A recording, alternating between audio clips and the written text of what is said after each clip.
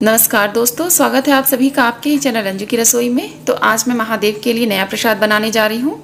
आज मैं बनाने जा रही हूँ मखानवे की बर्फ़ी। तो चलिए स्टार्ट करते हैं अपना वीडियो सबसे पहले हम यहाँ पे कढ़ाई लेंगे, उसे अच्छे से गर्म कर लेंगे। कढ़ाई अच्छे से गर्म हो चुकी है। अब मैं इसमें एक चम्मच देसी घी डालूँगी।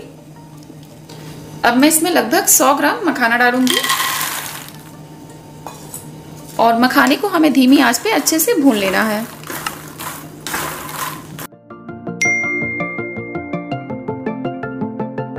तो दोस्तों लगभग छः मिनट हो चुके हैं मखाने को भूनते हुए और मेरे ख्याल से मखाने अच्छे से भून चुके हैं।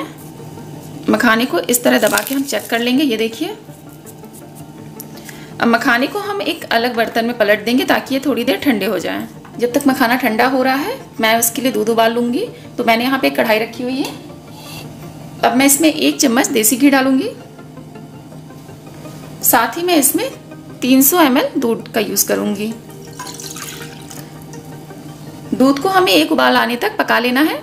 तो जब तक दूध गाढ़ा हो रहा है, हम मखाने जो ठंडे हो गए हैं, उसको हम जार में पीस लेते हैं। अब मैं मखानों को जार में डाल दूँगी।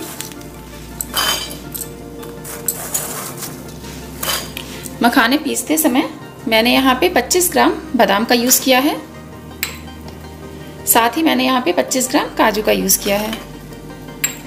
मखाने के साथ हम काजू और बादाम को भी अच्छे से पीस लेंगे। तो सारे मखाने अच्छे से पीस चुके हैं। बहुत ही फाइन पाउडर बन के तैयार हुआ है। मैंने यहाँ पे 100 ग्राम मखाना और 25 ग्राम काजू 25 ग्राम बादाम का यूज़ किया है। दूध में एक अच्छा सा उबाल आ गया है। अब मैं इसमें लगभग 150 ग्राम चीनी डालूँगी। चीनी आप अपने स्वाद अनुसार डालें। मैंने यहाँ पे 300 सौ दूध का यूज़ किया था। अब हमें इसे जलाकर कम से कम 250 सौ दूध कर लेना है। तो दूध में अच्छा सा उबाल आ गया है और दूध अच्छे से गाढ़ा हो चुका है। चीनी भी जो है वो मेल्ट हो चुकी है अच्छे से। दूध को हमें सिर्फ़ थोड़ा सा गाढ़ा करना था, इसका मावा नहीं बनाना है। तो सबसे पहले हमें अब गैस को बंद कर देना है। अब मैं इसमें डालूँगी लगभग 50 ग्राम नारियल का बुरादा। साथ ही जो हमने मखाने का पाउडर बनाया था, हम इसमें पलट देंगे। इन सबको हम अच्छे से मिक्स कर लेंगे।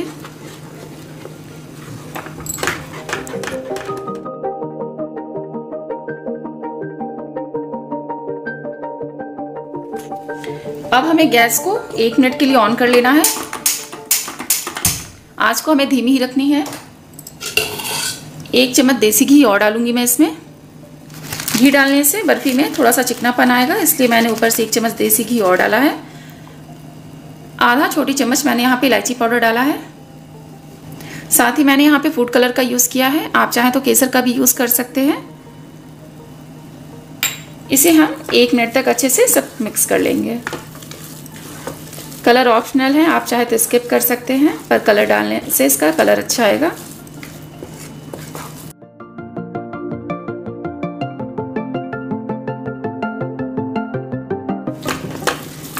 एक मिनट हो चुके हैं और आप देख सकते हैं कलर बहुत अच्छे से मिक्स हो चुका है सब में। गैस को हमें बंद कर देना है। अब हम इसे अलग थाली में पलट लेंगे और इसको अच्छा सा शेप देंगे। तो थाली मैंने पहले से यहाँ रखी है और मैंने इसमें देसी घी लगा रखा है ताकि जो बर्फ़ी है वो चिपके नहीं थाली में। मैं सारे मखाने को इसमें पलट दूँगी। पलटे की मदद से इसे हम थोड़ा थोड़ा इस तरह दबा देंगे और पतला शेप करेंगे। अब हमें मखाने और मेवे की इस बर्फ़ी को थोड़ी देर ठंडा होने के लिए रख देना है, फिर हम इसे अच्छे से डेकोरेट करके कटिंग करेंगे इसकी। तो मखाने और मेवे की इस बर्फ़ी को मैंने थोड़ी देर सेट होने के लिए रखा था, ये अच्छे से सेट हो गई है। अब मैं इसे डेकोरेट करूँगी चांदी के वर्क से।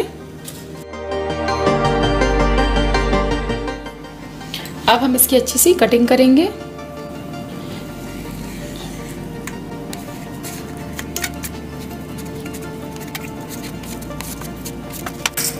और हम इसे डेकोरेट करेंगे, कटे हुए बादाम से।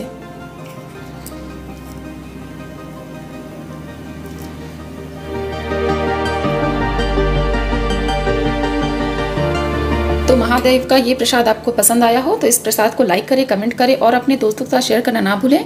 मेरे चैनल को जो सब्सक्राइब कर लें। धन्यवाद।